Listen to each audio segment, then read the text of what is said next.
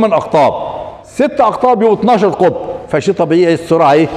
هتتغير لأن ال s- ال synchronous speed اتغيرت. ماشي؟ آخر حاجة supply frequency control أتحكم في ال frequency بتاع ال supply اللي هو Fs في Fs يعني كأني غيرت Ns ولما غيرت Ns غيرت فين؟ في سرعة العضو الدوار. ماشي شباب؟ ده الطرق ديت اللي هنشوفها مع بعض واحدة واحدة. أول طريقة اللي هو stator voltage control هاجي على ال terminal voltage بتاع ال control ال torque بيتناسب مع مين؟ مع V تربيع. ماشي شباب؟ طب وال V اللي هو I تربيع يعني. والاي بتساوي الفي على الامبيدنس والامبيدنس ثابتة ما, ما بتتغيرش. تغير كبير. فهستخدم power electronics عشان أتحكم في الفولت. فلو تخيلت أنا اخدت جهد أهو. V واحد. لا كبرت الجهد بقى V اثنين. لا كبرت الجهد V ثلاثة. هنجد إن ال starting كبر. وتخيل عندي load ميكانيكي torque load أهو. ايا كان لونه وشكله ممكن يبقى خط مستقيم. ممكن يبقى curve كده. ايا كان. ممكن يبقى واقف كده. torque بتاع ال load. ايا كان شكله. لأن أنواع torque ال load عندنا كتيرة جدا. فلو خدت ال torque ده لابد ال torque starting أكبر من ال torque starting بتاع ال load ماشي يا شباب؟ طب نقطة تقاطع ال torque load مع ال slip torque بتاع المحرك. فلو أنا خدت الجهد ده المحرك هيشتغل عند السرعة ده أهي. طب لو خدت ال terminal voltage ده أهو كبرته السرعة هت إيه؟ هتزيد هنا. طب لو كبرت ال terminal voltage السرعة إيه؟ هتتغير. فيبقى اتحكمت في السرعة وفي نفس اللحظة اتحكمت في مين؟ في ال torque starting عن طريق مين؟ تغيير ال terminal voltage. طب غير ال terminal voltage بكذا طريقة. يا إما بال auto transformer يا إما ب resistance يا إما ب reactor يا إما star delta. كل الطرق اللي استخدمناها قبل كده. هتديني نفس التغير ده. فيبقى أول حاجة إن أنا إن أقلل الجهد وده بيقلل لما اقلل الجهد بمقدار X ال torque هيقل بمقدار X تربيع. ماشي؟ آه الجهد لما بيقل ال speed بتقل وال slip بيزيد. ال slip هنا بيزيد. ماشي يا شباب؟ وال torque starting reduced بيقل لما الجهد يقل. ال torque maximum ال torque maximum أنا هاو ال torque maximum فين؟ أهو. هنا أهو.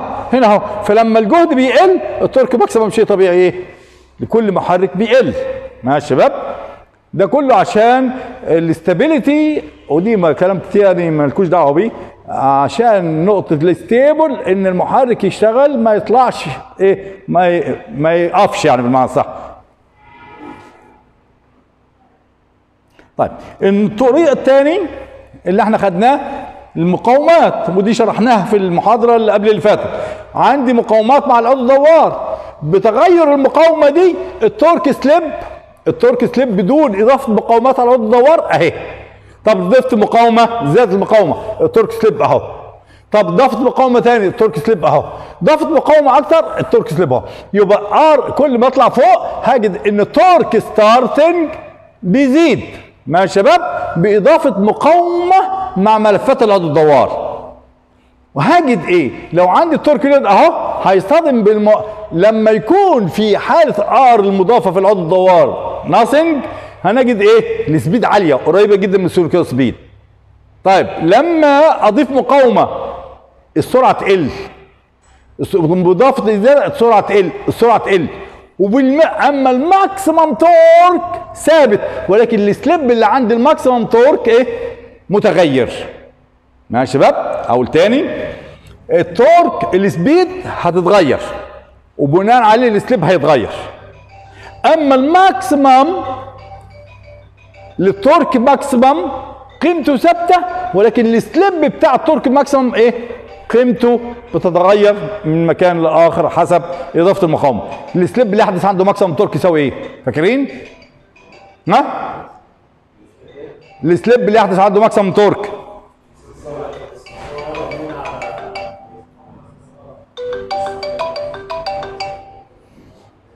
ها. R 2 على X 2 فلما اتخيل هضيف R 2 دي اضيف عليها مقاومة. فهتتغير نقطة ال slip اللي يحدث عنده maximum torque دي الم- المقصد منه. طيب. الطريقة ديت ودي طريقة كانت قديمة شوية وموجودة. ماشي يا شباب؟ إن أنا أغير عدد اقطاب العضو الثابت يبقى ملفات العضو الثابت الاطراف الملفات. أطراف الملفات دي باخدها قدام بره. فهتخيل عندي وصلتين. أدي وصله أهي. أدي الملف الثاني الثالث الرابع. الملف ده غذيته التيار بطريقة معينة هو الملف ده. بحيث قطب جنوبي شمالي جنوبي شمالي. ماشي يا شباب؟ طب لو جيت أنا غيرت الأطراف دي موجودة عندي في الروزيتا بره. جيت غيرت تغذية الملفات دي. بحيث كلهم أصبحوا إيه؟ شمالي شمالي شمالي شمالي. مفيش آلة هتشتغل بأقطاب شمالية. فلا بد إيه؟ هتخلق ما بينها ما بين بعضها إيه؟ أقطاب إيه؟ جنوبية. لأن الحياة زي ما قلنا حياة إيه؟ زوجية. positive negative موجب سالب آه قطب شمالي قطب جنوبي ذكر أنثى. ماشي؟ ده الكون ربنا أنشأ نواميس بهذه الصورة. فهينشأ إيه؟ أقطاب. هنا شمالي هيبقى جنوبية ما بينهم ما بين بعض. فعدد الأقطاب هنا كام؟ وعدد الأقطاب هنا كام؟ هتجد عدد الأقطاب هنا أربع أقطاب بينما عدد الأقطاب هنا كام؟ شيء طبيعي. زودت عدد الأقطاب. السرعة هيحصل ليها إيه؟ F تساوي إيه؟ P في ال N على 60 طب لو التردد ثابت إذا P و N تناسب إيه؟ عكسي. ماشي يا شباب؟ زودت عدد الأقطاب السرعة إيه؟ وديت اللي خد كان صنعوها من مدة 15 20 سنة قبل كده والا خدنا سرعتين من المحرك بان أنا غيرت إيه؟ عدد الاقطاب ماشي؟ ده example بس بسيط كده عشان نكون فاهمين يعني. إن أنا اتحكمت في عدد الاقطاب وبناء عليه غيرت السرعة بتاعت ال synchronous speed. ماشي يا شباب؟ وبناء عليه غيرت ال rotor speed آه،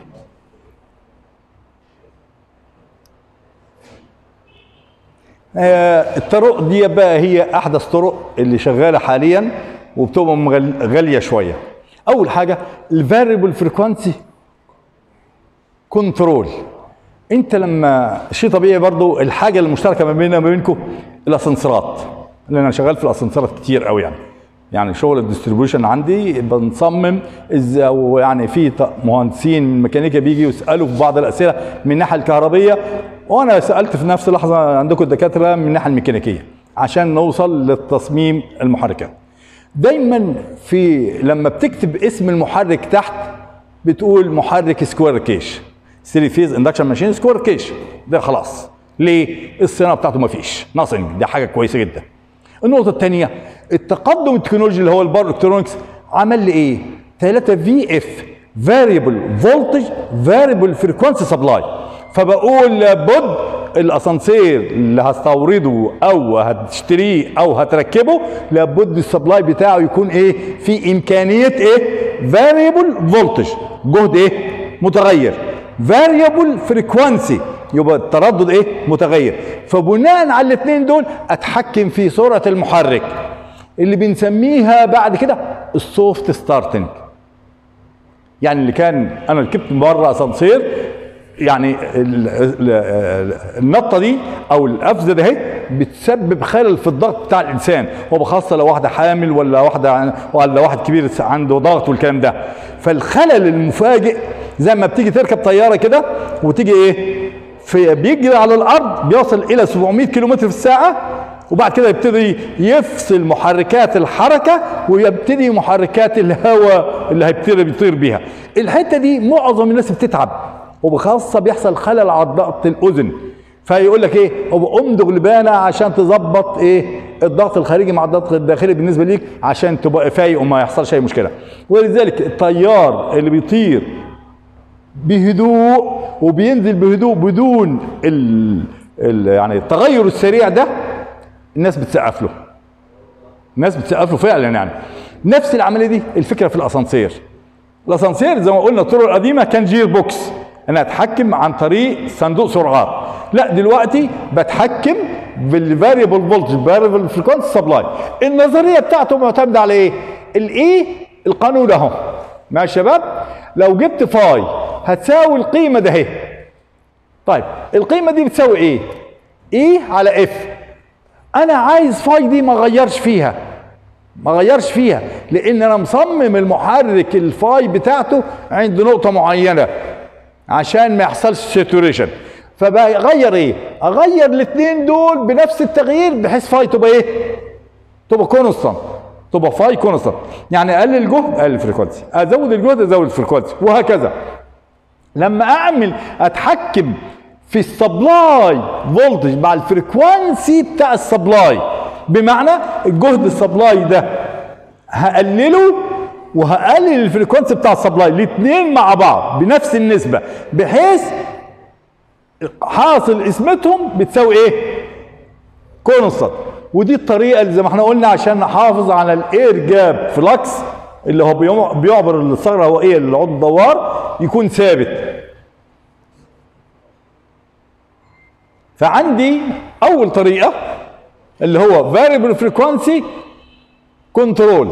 الطريقة دي بقى بسيطة جدا. لما يكون الجهد المقنن اللي هو سي 380 عندي و frequency 50 ال torque slip أهو.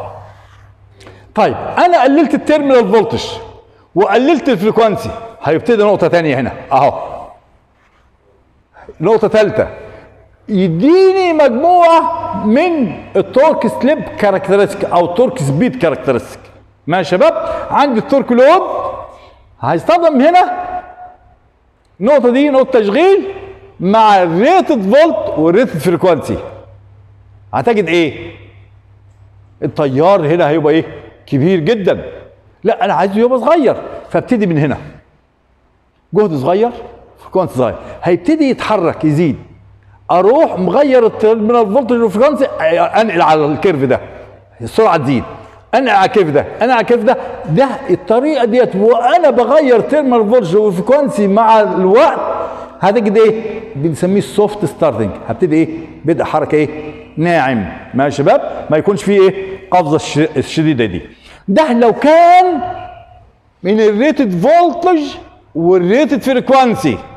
إن أنا أقلل الاثنين مع بعض وأبتدي بايه بهدوء لعند بوصل كده. طب هل ممكن أصل إلى سرعة أكبر من سرعة ال frequency المقنن وال terminal voltage المقنن؟ آه. ماشي. أو التاني السؤال اللي جاي عشان. الجزئية اللي بعد كده.